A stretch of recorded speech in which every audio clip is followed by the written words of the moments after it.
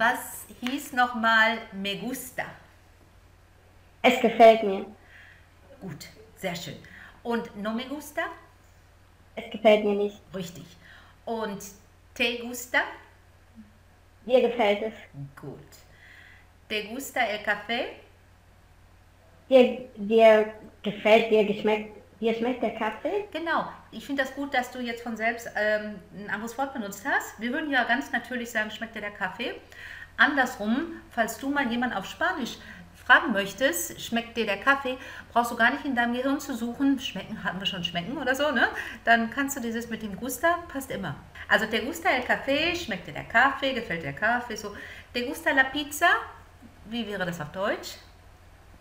Magst du die Pizza? Ja, Schmeckt genau. Was war denn le? Ihm? Richtig, toll, genau. Also lo ist mehr ihn, also auf n, unser, unser Gegenstück auf Deutsch ihn, wohingegen le wäre ihm. Also wenn ich jetzt sage le gusta, wie würdest du das übersetzen? Ihm gefällt es. Ja, sehr schön. Ja, ihm gefällt es, es gefällt ihm. Le gusta kann aber auch was heißen. Es gefällt. Es gefällt nicht ihm, sondern ihr. Das ist da auch drin. Also das reine Le gusta kann sowohl ihm gefällt es, als auch ihr gefällt es zu Mhm. heißen. Okay? Heute machen wir eben dieses, dieses Neuere, wenn wir jetzt von mehreren Menschen sprechen. Also wir haben, unsere Beispiele waren ja gerade, es gefällt mir, es gefällt dir, es gefällt ihm, es gefällt ihr. Was passiert mit mehreren Menschen, wenn es mehreren Menschen gefällt? Das gucken wir uns heute an.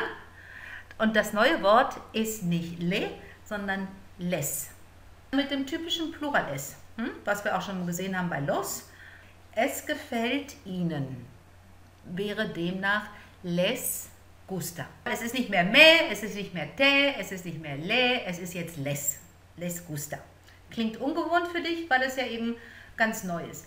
Versuch mal jetzt mit dieser Information les gusta, versuch mal, es gefällt Ihnen zusammenzuarbeiten, zu sagen. Les gusta cooperar. Sehr schön. Les gusta cooperar. Sehr gut. Es gefällt Ihnen etwas zu zeigen. Kannst du dich noch an das Wort für etwas erinnern? Algo. Gut. Also unser nächster Satz ist jetzt, es gefällt Ihnen etwas zu zeigen. Les gusta mostrar algo. Sehr schön. Du hast dich ganz schnell an mostrar erinnert. Das war toll. Les gusta mostrar algo. Gut. Es gefällt Ihnen anzufangen. äh, les gusta empezar. Schön. Les gusta empezar. Toll. Es gefällt Ihnen Spanisch zu sprechen. Les gusta hablar español. Toll. Es gusta hablar español. Prima. Es gefällt Ihnen nicht zu verlieren. Guck erstmal die Verneinung, wo das No hinkommt und dann das schwierige Wort verlieren. No le- les gusta perder. Sehr gut. No les gusta perder. Warum gefällt es Ihnen nicht? Porque no les gusta. Schön. Ich will wissen, warum es Ihnen nicht gefällt. Quiero saber por qué no les gusta. Ganz toll. Was heißt quieren? Nochmal zur Wiederholung. Wenn du nur quieren hörst, was kann das heißen? Sie mögen es. Ja, oder sie wollen, richtig. Also wir sprechen über irgendwelche Menschen. Grammatikalisch würde das heißen dritte Person Plural. Also wir reden einfach über andere Menschen und das sind mehrere. Quieren Ja. kann aber auch heißen, ihr wollt. Es ist immer noch eine neue Information. In Spanien gibt es eine, eine andere Verbform, wenn wir von, von ihr und euch reden, aber Lateinamerika nehmen wir dasselbe Verb, dieselbe Verbform. Also das reine quieren heißt, sie wollen oder auch ihr wollt. Manchmal ist es klar, über wen wir reden und manchmal brauchen wir dann eben eine, ein, ein Hilfsmittel, um zu erklären, reden wir von euch oder von ihnen. Und da dieses Hilfsmittel, da benutzen wir eben dieses persönliche Fürwort. Wenn wir von ihnen reden, dann würden wir sagen ellos.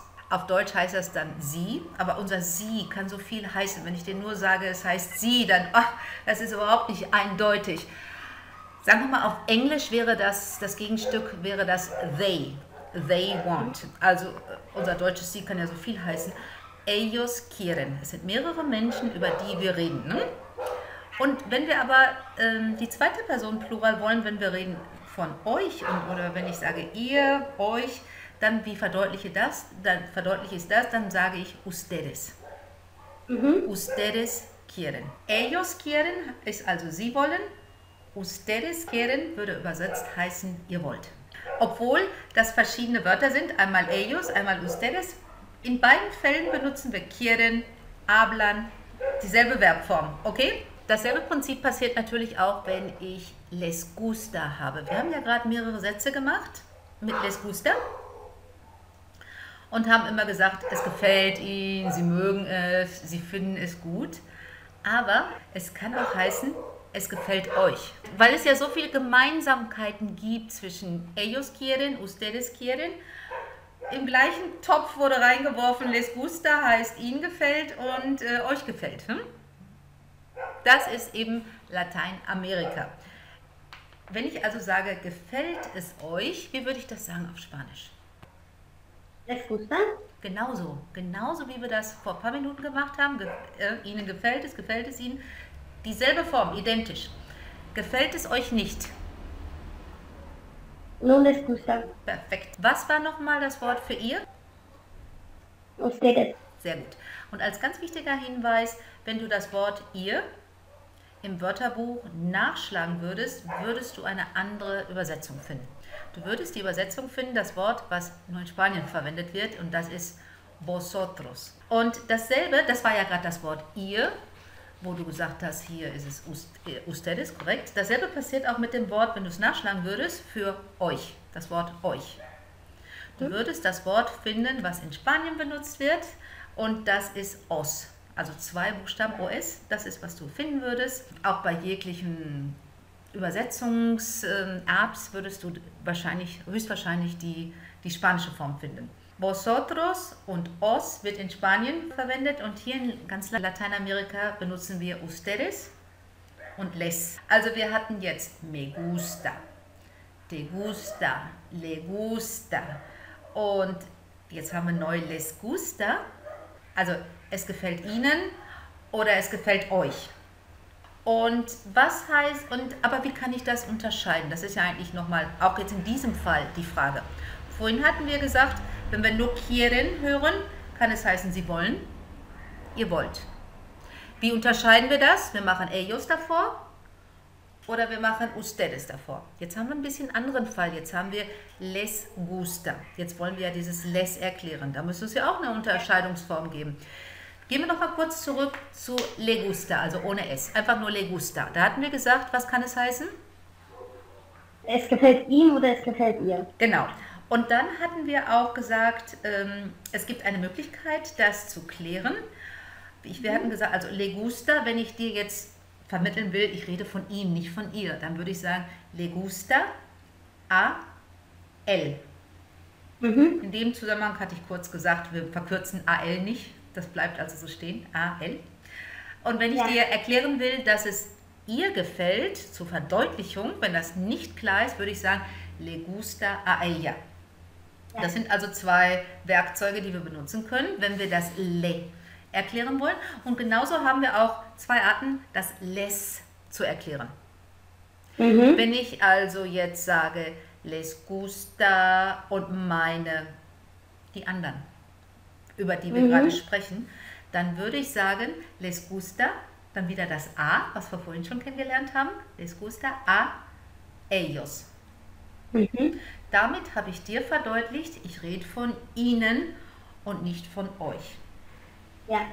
Les gusta a ellos. Wenn ich aber jetzt sage, hör mal, ich rede von euch, ich rede ja mit euch, ich rede von euch, dann würde ich sagen, les gusta a ustedes. Mhm. Ja, okay. Ich sage dazu, dass die ganze Geschichte doppelt gemoppelt ist, weil du hast les, was dasselbe ist wie a ustedes, oder les und dasselbe ist wie a ellos. Du hast das also doppelt. Diese Aussage, äh, ja. wem es gefällt, gibst du zweimal. Gibst du im schlimmsten Fall zweimal, um es zu verdeutlichen. Okay. Okay. Klingt jetzt noch ein bisschen theoretisch. Lass uns das mal ein bisschen üben. Wie würdest du